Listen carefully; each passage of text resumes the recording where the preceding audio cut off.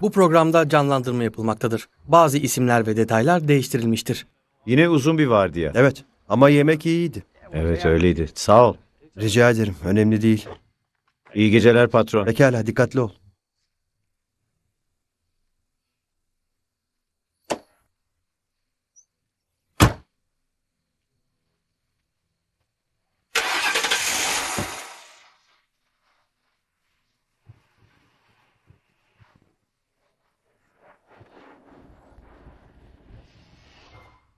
...13 Ekim 2001 saat 03.30 Merkezden tüm müsait birimlere. 200 Güney Broadway'e takviye ihtiyacımız var. 34. Yola çıkıyorum.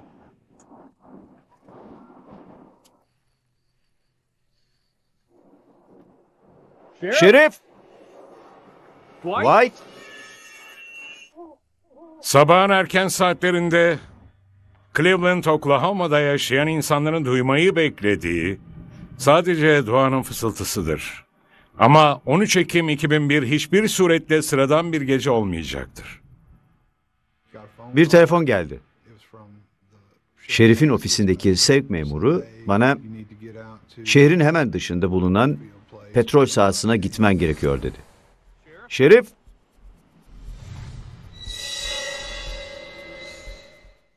...32'den sevk merkezine. Buraya hemen bir ambulans gerekiyor. Oraya gittiğimde Dwight'ın vücudunun yarısı arabanın içinde, yarısı dışarıdaydı. Ve karnının üzerine uzanmıştı. Bunu söylemem lazım. Biraz kendimi kaybettim. Yani o adam tanıdığım ve sevdiğim biriydi. Şerif yardımcısı Don Swager gerçek bir kabus yaşamıştır. Şerif Dwight Woodrell Jr. patronu ve can dostu hayata tutunmakta zorlanmaktadır. Ve bilirsiniz onun bir kurşun olduğunu anlamıştım. Orada kurşun olmasına inanamadım. Yani onun bir defadan fazla vurulduğunu hemen anladım. Şerif doğruca bölge hastanesine götürülür ve yardımcılarını karanlığın ortasında bırakır. Ondan mümkün olduğu kadar çok bilgi koparmaya çalıştılar. Böylece bu insanları yakalayabilecektik. Ama onun konuşacak durumda olmadığı apaçıktı. Kasabanın diğer ucunda bölge vaizi korkunç haberi vermek için Şerif'in evine ulaşır. Biliyordum. Karen'la temasa geçmemiz gerekiyordu. Çünkü o da diğer eşler gibi ise evde telsiz dinliyorsa görevde olduğunu duymuştu. Sadece sürekli saate baktığımı hatırlıyorum ve o sırada sabahın dördü olmuştu ve ben de neden kapım çalınıyor diye merak ettim. Merhaba Karen. Dwight'ın vurulduğunu söyledi. İçeri girebilir miyim? Ve ben de ona durumun ne kadar kötü olduğunu sordum. Bana bilmediğini söyledi ama hastaneye gitmemiz gerektiğini ekledi. Sabah saat 5'te kabaca Şerif vurulduktan bir buçuk saat sonra Oklahoma eyalet müfettişleri davayı almak için oraya varırlar. Biz bir karar verdik. Pawnee ili şerif yardımcıları doğal olarak Dwight'a yakın oldukları için onların çok fazla gerekmedikçe soruşturmadan uzak durmalarına karar verdik. Soruşturma sırasında açık görüşte olmak en iyisidir. Duygusal bağlantı kurmamalısın. Çünkü sınırlı bakış açısıyla bir şeyleri kaçırabilirsin. Eyalet ajanları olaya karışsa bile soruşturma artık kişiselleşmiştir. Daha önce Pawnee kasabasında bazı davalarda çalışmıştım. Yani Dwight'la önceden tanıştığım için onu çok iyi tanıyordum. O her zaman dost canlısıydı, çok profesyoneldi ve o gerçekten insanların birlikte olmaktan keyif aldığı biriydi. Bu olay memur arkadaşlarımızın başına gelmişti. Hep şöyle düşünürsünüz. Evet bu durum benim de başıma gelebilirdi. Ajanlar fiziki kanıt bulmak için Şerif'in aracının yakınındaki alanı detaylıca ararlar. Ancak pek bir şey bulamadıkları apaçık ortadadır. Olay yerinde hiç boş kovan bulamadık ve birçok insan olayın sıcaklığı esnasında boş kovanı yerden almayı düşünemez. Tek bulamadıkları boş kovanda değildir. Arabada silah bulunamadı. Bagajda hiçbir yerde yoktu. Dwight'ın vurulduğu gece Dwight ve bazı yardımcıları bir arama kararını tebliğ edeceklerdi. Toplantıya katılmıştı ve üzerinde silahı yoktu. Toplantıdan ayrıldıklarında silahını yeniden aldı. Arama kararını tebliğ ettiler. Kelepçeleri taktıkları anda silahını yeniden bıraktı. Yani Dwight biliyordu. O bölgede çok güvende olduğunu biliyordu. Ama güvende olan bir kişi vurulmazdı. Eğer biri Cleveland'ın en iyi kanun adamının ölmesini istemediyse. Şerif herhangi bir eşkal verebildi mi? Dwight, telsizden yanında Robert Weller adında bir adam olduğunu bildirmişti. Kimdi bu adam? Bu isim nereden ortaya çıkmıştı? Robert Weller diye biri var mıydı acaba? Onun hakkında arama var mıydı? O adamın orada olmasının bir nedeni var mıydı?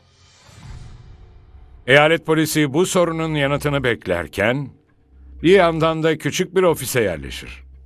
Tek tek insanları sorgulamaya başlarlar. Aralarında onu en son canlı gören kişi de vardır. Oraya vardığında neler gördüğünün üzerinden geçelim.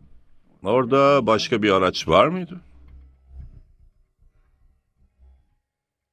Oraya giderken bir aracın yanından geçtim. Cleveland küçük bir yer olduğu için geceleri kaldırımlara çekerler. Yani yol üzerinde bir araç varsa bu bir şekilde dikkatimizi çeker.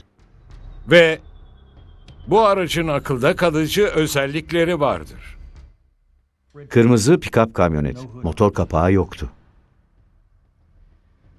Yok muydu? Hayır, Kamyonet çok karanlıktı. Şerif'e sormayı denedim ama ne söylediğimi duyduğundan bile emin değilim. Eyalet polisi ihtilaflı olduğu biri var mı diye sordu. Önceden sorun yaşadığı biri var mıydı? Herhangi bir tutuklama, şeriflik seçimi yüzünden yaşadığı herhangi bir şey. Onun dahil olduğu birkaç olaydan bahsettik. Ve bunlar fiziksel şiddet veya tehdit olaylarıydı. Ekleyecek bir şey olmayan şerif yardımcısı Sveger önemli ve kişisel bir görev için oradan ayrılır. Benden hastanede kalmamı istediler. Ve kapıda bekleyip içeri girişleri engelleyecektim. Eyalet polisinin görüşmek için çağırdığı diğer kişi petrol sahasının mülk sahibi Jeffrey Spester. demek Şerif'le birebir tanışıyorsunuz. Evet, Dwight'ı herkes tanır. Ben Cleveland civarında büyüdüm ve Dwight da bu bölgede büyüdü. Ve ona bahçemizden çalınan bir römorkörden bahsetmiştim ve o yardım etmek istedi. Ve o bölgede daha geniş bir arama çalışması başlatması gerekiyordu. Ne yazık ki Jeffrey Spence petrol sahasının içinde ve etrafında yaşanan suçlara hiç yabancı değildir. Ekipmanlarımızdan birinin çalınması petrol işinde en temel zorluklarımızdan bir tanesidir. Çünkü ekipmanlarımızın birçoğu çok pahalı. Bazen daha farklı gazları oluyor. Mesela anhidraz gazını metamfetamin kullanıcıları veya imalatçılar çalmak isteyebilirler. Çalınan bir şey fark ettin mi? Hayır, Dün akşam sana gelen telefondan bahset. Home Safe merkezinden bir telefon aldım. Dwight'ın bizim bahçede biriyle karşılaştığını söyledi. O kişi çalışanlarından Robert Weller olduğunu söylemiş. Ve Bay Weller çalışanlarınızdan biri mi? Buna emin değilim. Mevsimlik çalışanımız çok fazla ve her zaman isimlerini bilemeyebiliyorum. O ismi tanıyamamıştım. Elbette o sabah aklım pek yerinde değildi.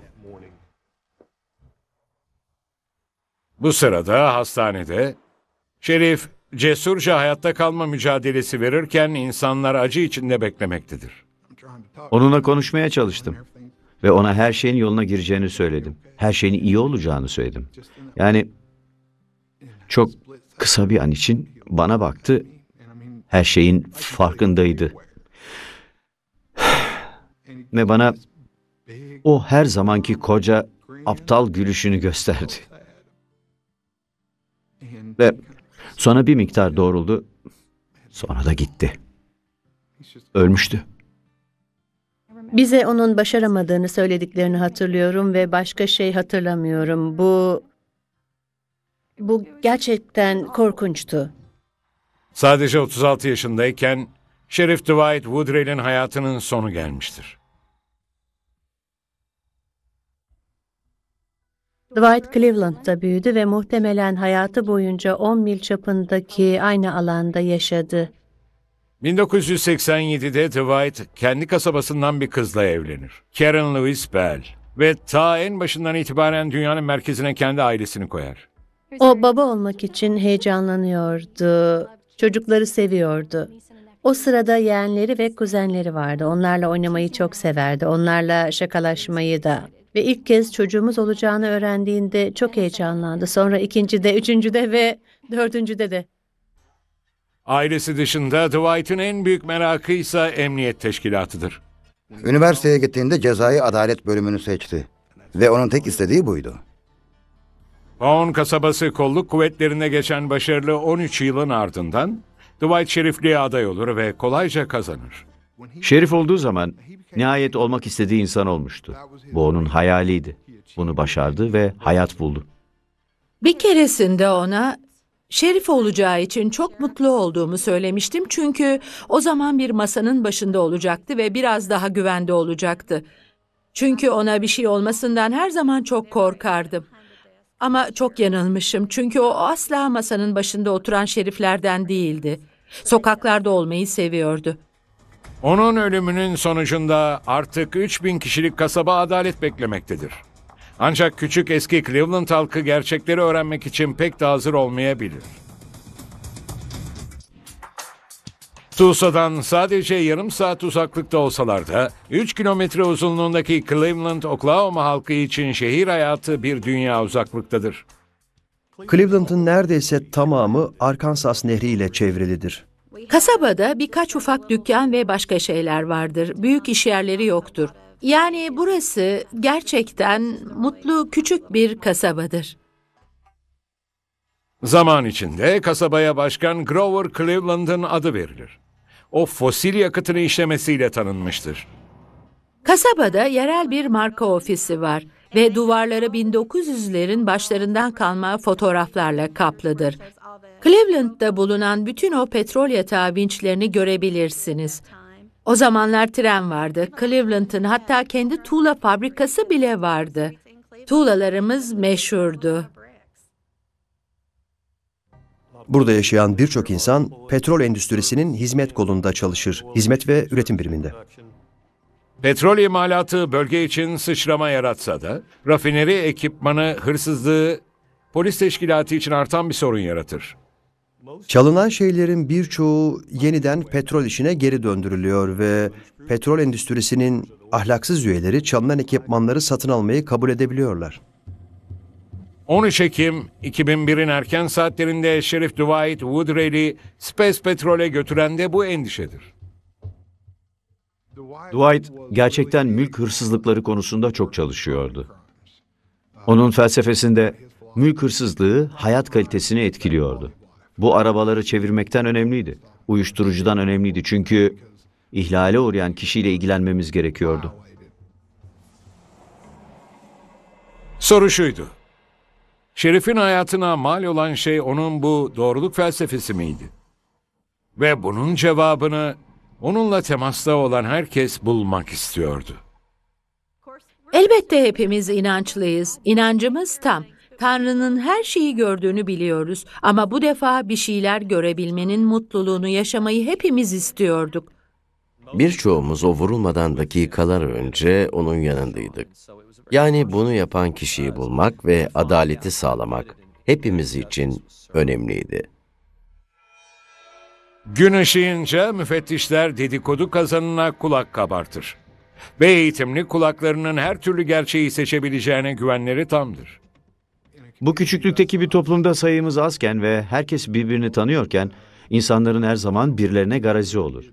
Yani hepimizin ciddi şekilde bakması gerekiyordu. Birileri gerçek ya da uydurma bir nedenden Dwight'ın ölmesini istemiş olabilir miydi? Çok fazla söylenti vardı. Ben kasabada büyük işverenlerden birinin yanında çalışıyordum. İnsanlar sürekli gelip bir şeyler soruyordu. Eğer bilemediğimi söylersem şunu söylüyorlardı. Peki şunu duydun mu? Yani şu kişi olabilir mi? Bu kişi olabilir mi? Ya da o kişi şurada ya da burada çalışmıyor muydu? İnsanlar benimle konuşmaya çekiniyordu. Karşılarında bir anda Ağlayabiliyordum mesela. Birçok söylenti duydum yani işim yüzünden ve burada çalışan tanıdığım insanlar tarafından. Ama özellikle de toplumdaki insanlar bana bu konuda asla yaklaşmadılar. Gelen ipuçlarını elemekle uğraşırken eyalet ajanları bir yandan da ilk ipucunu araştırmaya koyulurlar. Şerif vurulmadan hemen önce bahsedilen kişiyi, Robert Weller'ı ararlar. Bütün kontrolleri yaptık. Robert Weller ismindeki birini bulmak için bütün kayıtlarının üzerinden geçtik. Weller bulamadım ama Waller buldum. Adresi var mı? Evet. Robert Waller'la karşılaştığımızda onun Sand Springs bölgesinde yaşadığını belirledik. Burası Batı Tulsa bölgesinde bir yerdir. Cinayetten 31 saat sonra saat 10.30. Bu tip soruşturmalarda her zaman belli miktarda baskı vardır. Çünkü biri ölmüştür ve bu davada yalnızca biri ölmemişti. O bir polis memuruydu ve o tanıdığımız biriydi. Bay Waller.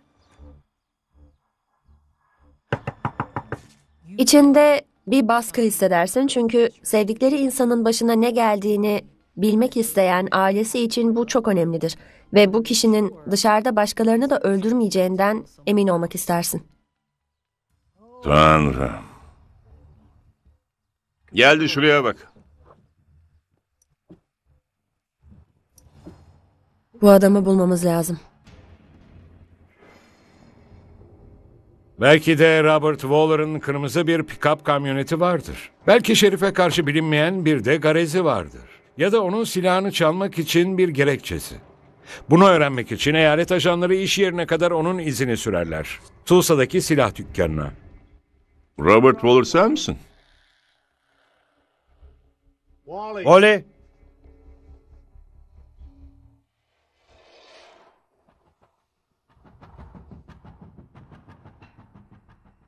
Robert Waller sen misin? Evet. Cleveland'daki Spasm Petrol'e hiç gittin mi? Spas Petrol mü? Hayır. Son 10 yıldır Cleveland'a adım atmadım. Bunu doğrulayacak kimse var mı? Karım var. Bizimle işbirliği içindeydi. Bize nerede olduğunu anlatabilirdi. İfadesini kontrol ettik ve onun bu davayla hiçbir ilgisi olamayacağına karar verdik. Tulsa'dan elleri boş dönseler de Smith ve Francini diğer ipuçlarının daha yararlı olmasını umut ederler. Özellikle de Spes Petrol'den çıkarken görülen araç önemlidir. O kamyonet konusunda bir gelişme var mı? Bu kırmızı bir kamyonetti ve kolaylıkla fark edilebilen bir şey olmalıydı. Belki öyle. Ama kaportasız kırmızı kamyonet ortadan kaybolmuştur. Spes Petrol'ün park alanı çamurdan ve küçük çakıllardan oluşuyordu. Yani lastik izleri ve ayak izleri hızlı şekilde kayboluyordu. Kanıtlar bir bir elenirken eyalet müfettişlerine büyük bir aciliyet duygusu sarmaya başlar. Kolluk kuvvetleri bunun farkındaydı.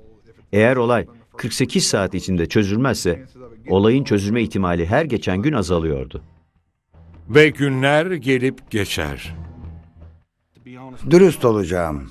Ben ilk gün sona erdiğinde birini gözaltına alacaklarını düşünüyordum.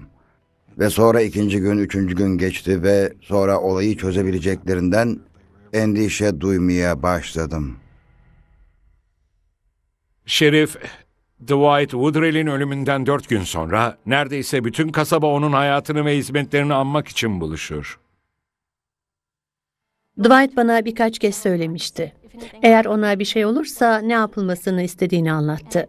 Ve bence bunu bana söyledi çünkü onun meslek kolu için yani evet daha önce burada benzer bir şey yaşanmıştı ama bu her zaman bir olasılıktı. Cenazenin bizim gittiğimiz kilisede olmasını istedim ama bana bunun imkansız olduğu söylendi. Muhtemelen çok sayıda insan katılacaktı. Bu yüzden cenazesi yerel lisemizin spor salonunda gerçekleşti ve ben endişelendiğimi hatırlıyorum. Çocuklarımız büyüyecek ve basketbol oynayacaklardı ve oraya her gittiklerinde onun cenazesini hatırlamalarını istemedim. Ama cenazeyi orada yaptık ve çok sayıda insan katıldı. Dwight'ın söylediği diğer şey de evimizin önüne gelmek istediğiydi. Burası onun ailesinin kreviydi ve mezarlığa gitmeden önce buraya gelmek istiyordu. Son bir kez evinin yanından geçmek istiyordu. Bu benim katıldığım en kalabalık cenazeydi. Ayakta duracak yer yoktu. Hatırladıklarımın en iyisiydi. Vali oraya gelip konuşma yaptı. Bence Dwight görse onur duyardı. Buna eminim. Bugüne dek duygusal olarak etkilenmeden Taps dinleyemiyorum. Bu beni eski günlerimize götürüyor.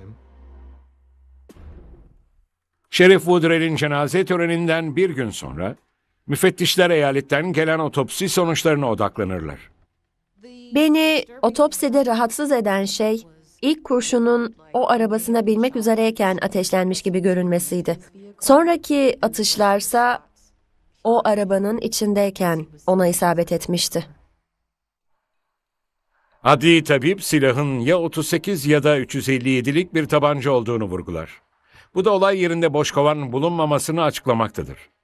Kırsal Oklahoma'da bu iki tabancaya sahip olan insanları çıkartmak neredeyse imkansızdır. Şimdilik müfettişler balistik raporunu beklemek zorundadır. Olay yerinden ve otopsiden anladığımız olay şu. Bir kişiyle mi yoksa bir düzine kişiyle mi uğraşıyoruz bilemiyorduk.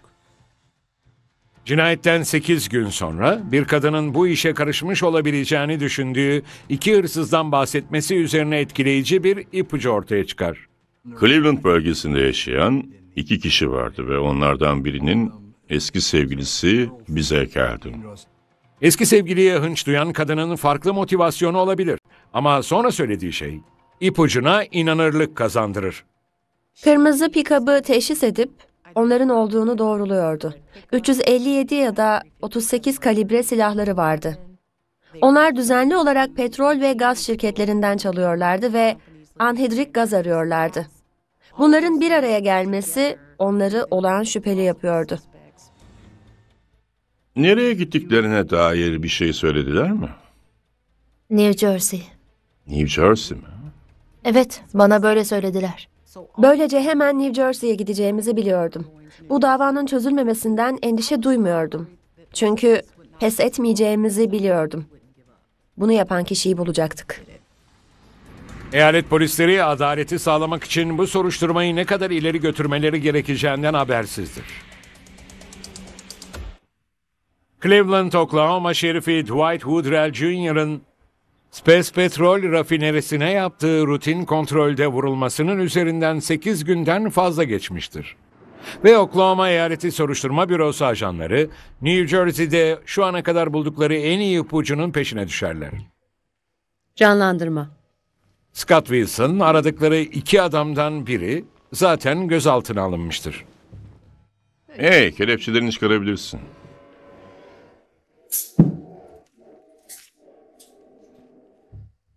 Bunlarla hiç rahat olamadım. Öyleyse yanlış iş kolunu seçmişsin. Seni New Jersey'ye getiren ne? New Jersey'ye kadar onunla bir takım petrol sahası ekipmanlarının çalınması konusunu konuşmaya geldiğimizde inanamamıştı. Bay Wilson en son ne zaman Oklahoma'daydınız? Bir hafta önce falan.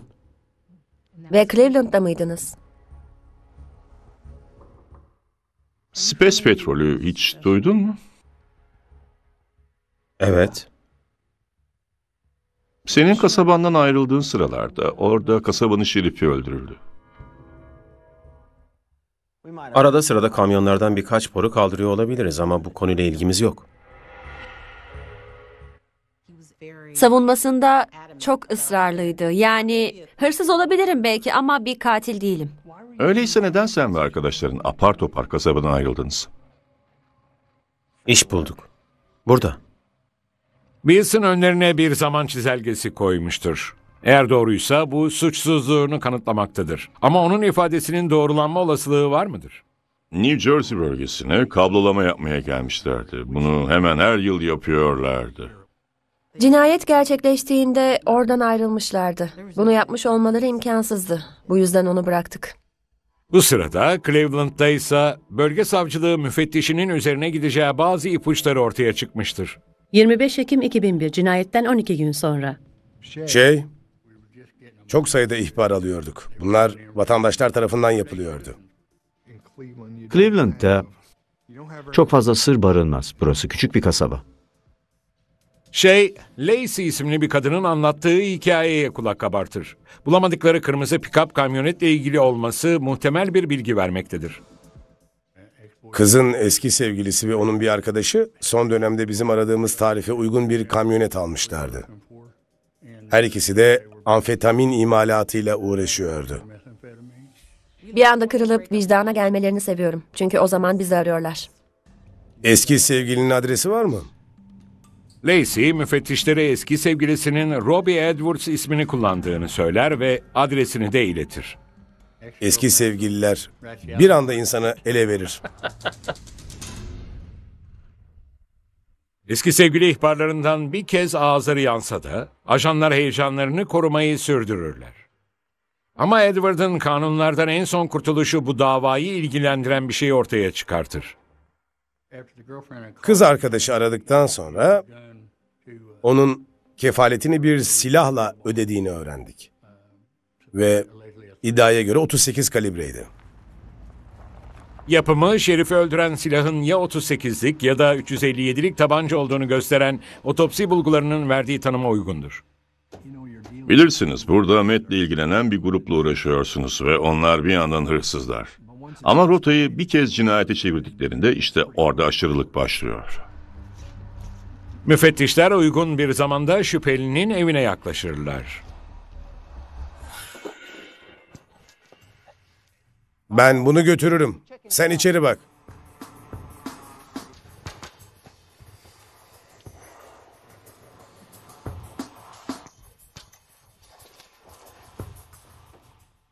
Kimse yok mu?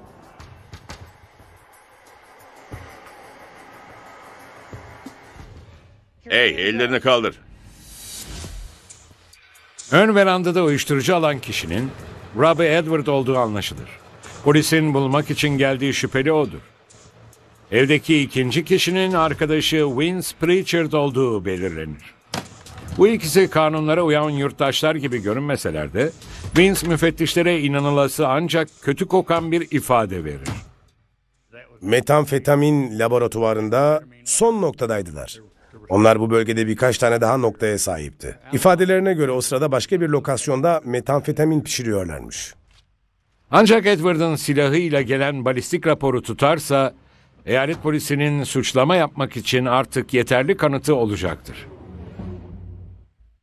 Hey aldım. Balistik raporunun ulaşması 5 hafta sürmüştür. Anlaşılan 357 kalibreymiş. Ve laboratuvar test sonuçları Edward'ın silahıyla uyuşmamıştır. Kullanılan 38'lik değildi. Tabii iki şüpheli de temize çıkmış oldu. Doğal olarak. En alevli ipuçları soğuk suda sönerken eyalet ajanları olumlu düşünmekte zorlanmaktadır. Birçok farklı ihbar almıştık ama sonunda hiçbir yere varamadık. Zaman kaybetmiştik. Bunlar soruşturma zamanından çaldılar. Gelen bir ihbarın en sonunda soruşturmayla hiçbir ilgisi çıkmıyordu. Ama gelen hiçbir ihbarı göz ardı edemezdik. Haftalar aylara döndükçe Cleveland halkı şerifi vuran kişinin elini kolunu sallayarak kurtulacağından endişelenmeye başlamıştır. İnsanlar her anlamda şok olmuştu. Bu küçük, güzel kasabanın masumiyeti tamamen gitmişti. Birisi onların çok sevdiği ve görev sırasında öldüreceğini hayal bile edemedikleri bu adamı öldürmüştü. Onlardan koparmıştı. Şerif'in eşi ve çocukları için bu kayıpla başa çıkmak çok zordur. Çocuklarıma söylemek, bu muhtemelen hayatım boyunca yaptığım en zor şeydi. Ve onlara babalarının asla eve dönmeyeceğini söylediğim anı düşünüyorum. Bu gerçekten çok korkunçtu ve onlar 5 ve 3 yaşındalardı. Bunu anlamamışlardı, anlayamazlardı.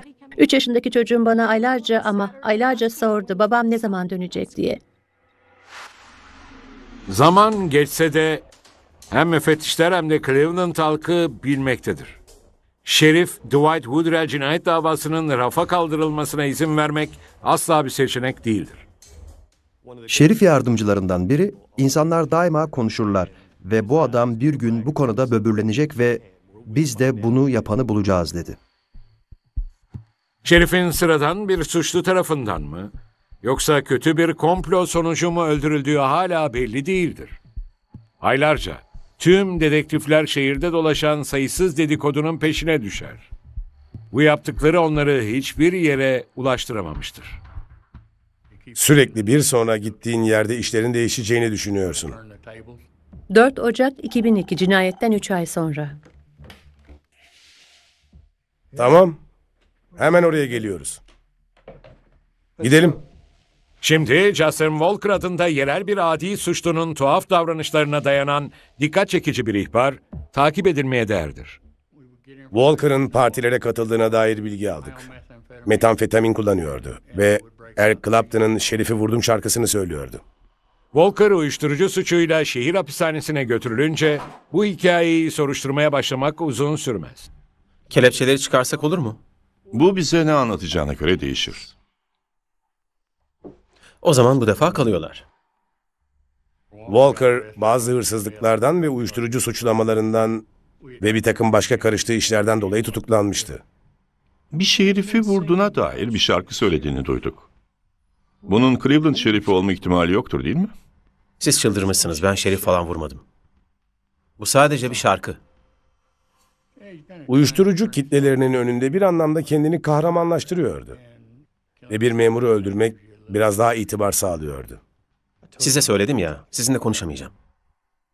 Walker'ın tavrı en basitinden sorunlu denilebilir. Ama şüpheli midir yoksa biraz saldırgan biri mi? Hala birçok ihbar gelmektedir ve ajanlar her ipucunu takip eder. Sürekli o büyük kırılmanın yaşanmasını, onun seni doğru yöne götürmesini bekliyorsun. İlginç ve yeni bir gelişme gözlerin yeniden Tulsa'ya dönmesini sağlar. Kefaleti veren adam bizimle temasa geçti. Yani önceden kefaleti ödeyen kişi oydu. Adam geçen gün kefalet ödedi. Ridgway isimli biri için. Ridgway'in kefaletini ödeyen kişiler diğer masrafları ödemek için gelmişti. Ridgway onlardan birinin adının James Taylor olduğunu biliyormuş. Taylor'ı tanıyor musun? Hayır ama çok tuhaftı.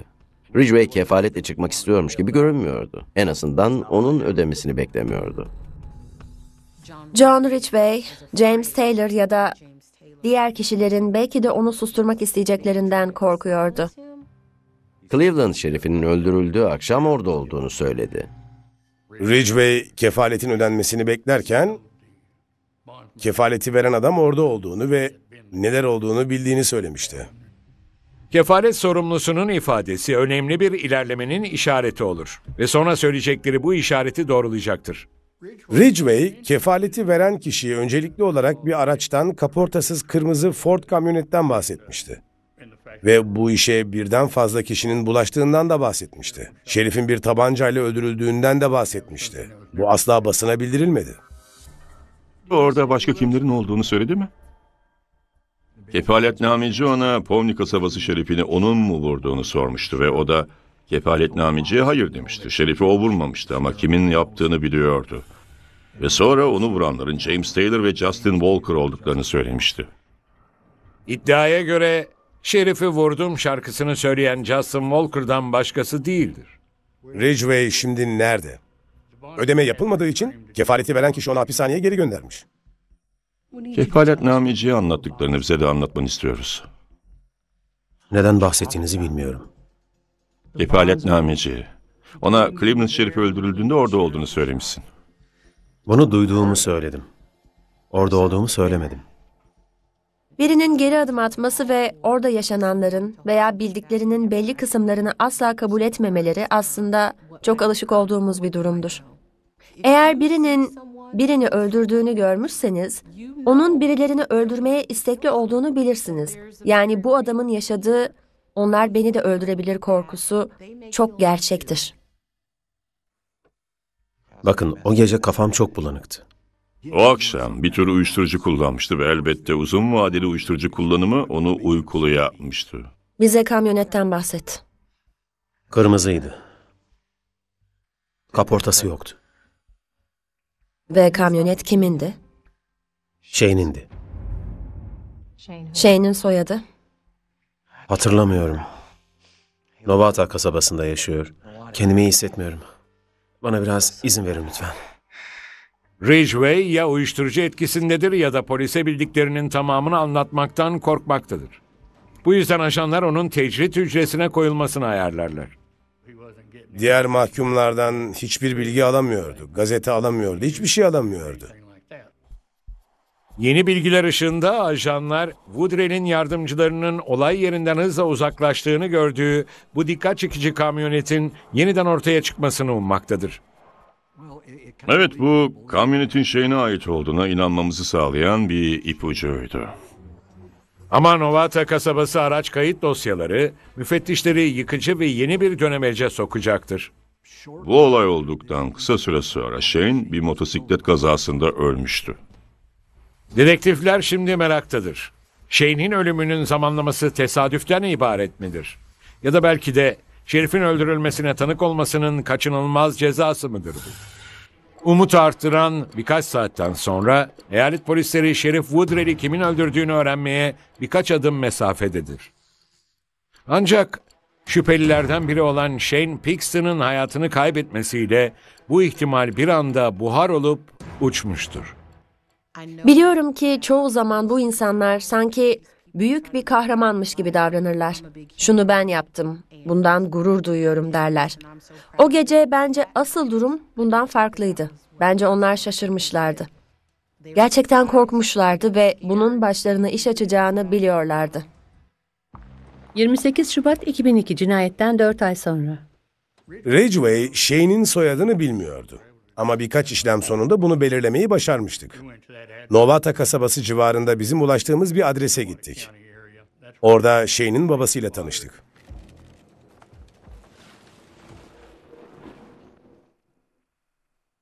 Kamyonet oradaydı. Onu gördük.